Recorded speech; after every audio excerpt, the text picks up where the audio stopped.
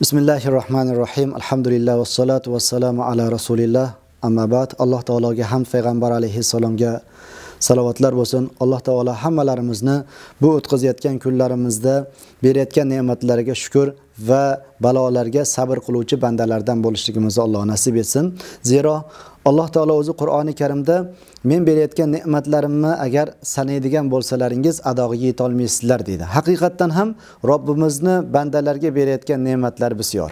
Ammo biz har bir banda o'sha ne'matlardan qaysidirdan mahrum bo'lgan paytda ne'matni ne'mat ekanligini his qilamiz va uni qadriga yetishga harakat qilamiz. Ba'zan mana shunday holatda kechikkan bo'lib qolishligimiz ham mumkin. Xususan rasulimiz sollallohu alayhi vasallam ta'kid qilganlaridek ikki ne'mat bor ko'p bandalar undan e, g'ofildadurlar bittasi xotirjamlik ikkinchisi sihat salomatlik haqiqatdan ham mana bu pandemiya sharoitidan oldin shu xotirjamligimizni ham sihat salomatligimizni ham ko'pda yo o'ylaganmiz yo o'ylamaganmiz. Hozir ham ba'zi bir insonlar mana shu kasallik urchib turgan paytda ham shu kasallikni hazil deb bilib hozirgi karantin qoidalariga bepisandlik bilan qarayotgan insonlar ham bor. Bu juda ham uyatli holat. Bu madaniyatsizlik hisoblanadi. Dinimizda rasul akram alayhissalom karantin qoidalarini bundan 15 asr oldin o'zlari muborak hadislari bilan joriy qilib berganlar. Shunday ba'zi bir shu yuqadigan kasalliklar borki undan mabodo tarqagan joyda bo'lsangiz chiqmang kirmagan bo'lsangiz kirmang deganlar. O'sha karantin qoidasini ilk debochasi va bugungi kundagi umumiy shiori shu. Shunday ekan biz bugun mo'min musulmonlar mana shu hozirgi kunda o'zimizni qanday tutishimiz kerak? Faqat shukur qilaylik mana hozir ko'p insonlarni eshityapmiz. Mana shu kasallik sababidan ba'zi bir insonlarni o'pkasiga o'tsa o'pkasiga o'tgan insonlarni nafas olishliklari qiynalib qon quyuqlashgandan keyin kislorod bilan sun'iy kislorod bilan unga yordam qilish va shu orqali u odam hayotga yana qaytishliklari va ba'zilari esa Allohni irodasi bilan o'lim topayotgan holatlari ham bor. Endi o'sha birgina bir soniyalik kislorod yoki nafas olishlik holatini biz o'ylab ko'rganmizmi? Agar yoshimizni bugun necha yoshga kirgan bo'lsak shuncha yildan beri Alloh beminnat mana shu havosini bizga yetkazib chiqarib turibdi. Biz o'ylamadik.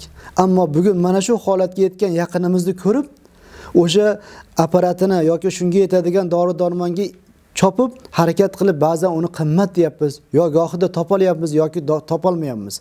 Lekin bir insof qilib aytaylik Allohni mana shu berayotgan ne'matlarini biz shukrini qanday ado qilamiz? Shu o'rinda Harun rashid davridagi bir voqeani ibrat uchun eslatamiz.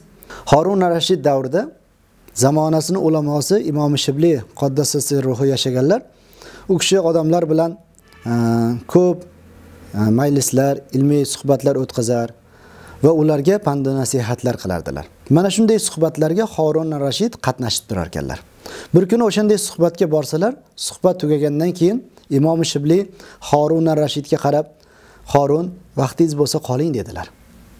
Ikkilari yolg'iz qolishdi. Shunda men sizga bir savolim bor javob bera olasizmi? Mayli bering.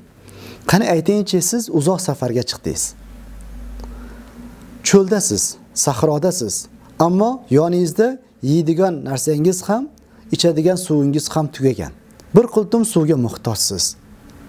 Shu payt siz yoningizdan yonida oziq ovqati bor suvi bor odam o'tib qolsa nima qilasiz dedilar. Shunda Harun rashid hech o'ylanmasdan dedilar o'sha odamdan yordam so'rayman. U odam ham shu paytdan foydalanib aytsaki bera olamanu lekin shundayga bera olmayman. Chunki men ham safardaman uni haqqini to'lasangiz beraman desa nima qilasiz? Albatta haqqini to'layman. U odam aytsaki bir qultum suvim ana u rashid podshoni yarim davlatcha turadi desa nima qilasiz? O'ylanmasdan yarim davlatim beraman deb o'sha halokatdan qutulib qolaman dedilar. Shunda imom shabli rahmatullohi alayh biroz o'ylandilarda yana savolda davom etdilar. Qani aytingchi ey Xorun, banda bir narsa yeb ichsa ma'lum bir qismi badaniga singadi. Qolgani zahar bo'lib chiqib ketishi kerak. Ammo o'sha zahar sizdan chiqmayapti. Nima qilasiz? Tabiblarga ko'rsataman. Agar tabiblar aytsaki buni muolajasiga biz ojizmiz falon yurtda bir hoziq tabib bor undan bir maslahat so'rang desa nima qilasiz? O'sha odamga ko'rsataman. U odam ko'rib buni muolajasi boru lekin davosi qimmat turadi desa nima qilasiz? Qancha tursa ham o'sha davosini qilaman chunki zahar badanimdan chiqarib yuborishim kerak bo'lmasa o'lib qolaman. Shunda aytsaki uni davosi anavi horuna rashid podishoni qolgan yarim davlatchi turadi desa nima qilasiz? Hech o'ylanmasdan qolgan davlatimni ham beramanda o'sha zaharni chiqarib yuboraman dedilar. Shunda imom shibli bir xo'rsindilar ey xorun qarang butun dunyoga bugun podshohlik qilib turgan hovrun rashid davlatini mablag'i bir qultum suvni kirib chiqishiga yetmayapti. Qolgan nima bo'ladi degan ekanlar. Shunda ikkilari ertalabga yig'lab chiqishgan ekan. Hazlar bugun bizni ham holatimiz undan oson emas. Bizga ham alloh taolo shunday bir mo'jiz ne'matlarni berganki uni har birini agar olloh mana shunday hisob kitob qilaman desa biz adog'iga yetkaza olmaymiz. Shunday ekan kelinglar azizlar bugungi bu sinovli kunlarni oh voh deb emas yaratganni shukronalik bilan. Har bir holat ollohdan deb bilib olloh yuqtirsagina ta'sir qildirsagina ta'sir qiladi deb umumiy qoidalarga rioya qilgan holatda agar bu kunlarimizni albatta o'tkazadigan bo'lsak juda katta ne'mat bo'ladi. Chunki ulug'larimizdan ahnaf ibn qays rahmatulloh alayhni huzurlariga jiyanlari kelib tog'a tishim og'riyapti debdi. Shunda bir jiyanlariga qarabdilarda uyalmaysanmi dedilar. Men ellikka kirdim ammo mana shu ellik yildan beri bir ko'zim ko'rmay qolgan hali hech kimga shikoyat qilganim yo'q. Ikkinchisi bilan ko'rib turibman. Seni shuncha tishingni olloh berdi lekin endi bir ozgina hozir og'riq bo'lib qolsa qara dodvoy voy xudodan uyalmaysanmi degan ekanlar. Xuddi shunga o'xshagan bizni hayotimiz mana hozir ba'zi bir keksalarimiz yetmish saksonga kirgan umrimizda eshitmagan umrimizda ko'rmagan holatlar bo'lyapti deyapti. Hatto sakson kirgan odam umrida bo'lmagan holat bo'layotgan bo'lsa demak qolgan umrimizga qanday hisob kitob beramiz? Shuning uchun azizlar shukur qilaylik.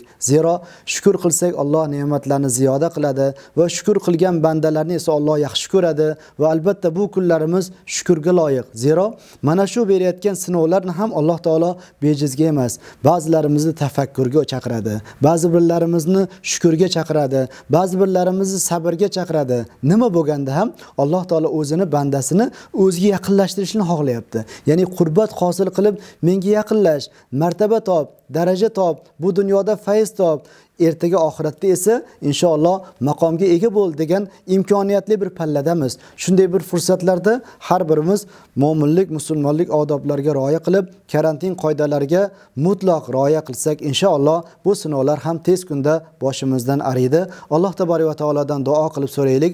Alloh yurtimizni xalqimizni hammalarimizni tez kunlarda mana shu balolardan omonda chiqishligimizda o'zi ko'makchimiz bo'lsin. Assalomu alaykum va rahmatullohi va barakatuh.